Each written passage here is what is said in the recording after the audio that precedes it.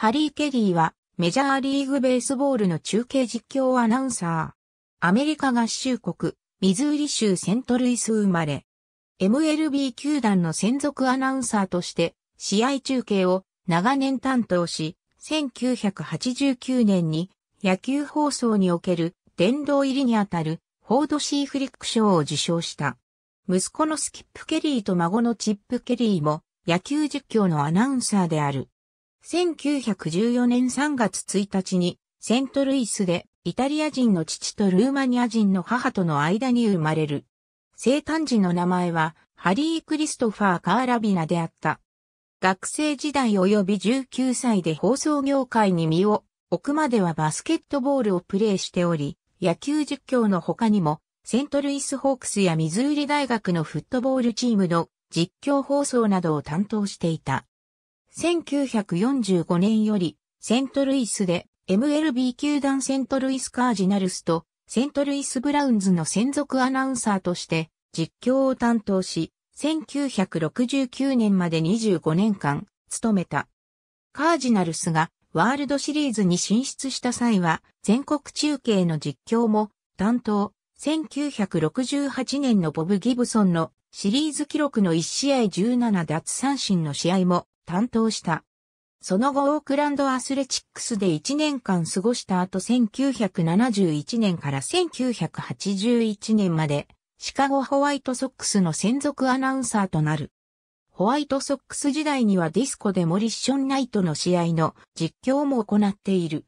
1982年よりシカゴカブスの専属アナウンサーとなり、以後1997年まで16年にわたって実況放送を担当した。その間、1987年からは自身の名前を冠したレストランの経営も行うようになった。1997年の引退時には、翌1998年から孫のチップが専属アナウンサーの座を引き継ぐことが発表された。1998年2月18日に死去。この年カブスの地元シカゴでの本拠地開幕戦となった4月3日のモントリオールエクスポズ戦は、ハリー・ケリーズメモリアルデーと銘打たれた。ケリーの死を悼み、妻のドーチェ未亡人が放送席に招待され、7回表が終わると39,102人の観客と一緒になって、生前に、夫、ハリーが行っていたように、テイクメアウトツーザボールゲームを熱唱した。この年カブスの選手は、ユニフォームの袖部分に、ケリーの似顔絵のワッペンをつけてプレーした。リグレーフィールドにある銅像ケリーを語る上で、欠かせないのが歌である。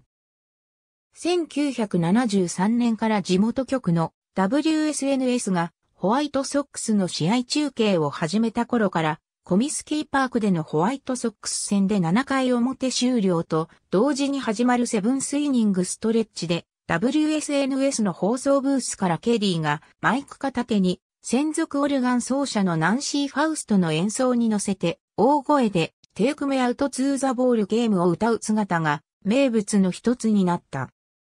1980年に WSNS がホワイトソックスの放送を打ち切り、翌1981年からホワイトソックスは同じくシカゴの WGN-TV で放送を始めるが、ホワイトソックスの放映権は1年で WFLD に移り、ケリーは1982年から WGN-TV でのカブスの専属実況アナウンサーとなり、名物のセブンスイニングストレッチの歌もカブスの本拠地、リグレーフィールドで以前と同様に WGN のブースにて継続して行われた。ケリーが亡くなってからは有名人のゲストが放送席から観客に呼びかける形で歌が始まるようになった。ありがとうございます。